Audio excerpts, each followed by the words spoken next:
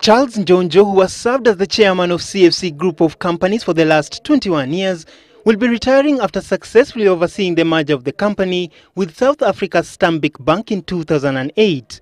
Njonjo's departure is leaving public life after previously doubling in politics as a Minister for Constitutional Affairs and a long service as an Attorney General.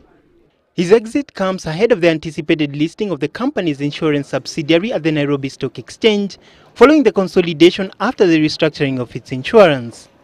Under the new strategy, CFC Life Insurance and Heritage Insurance companies have been merged into one wholly owned company to be renamed CFC Insurance Holdings.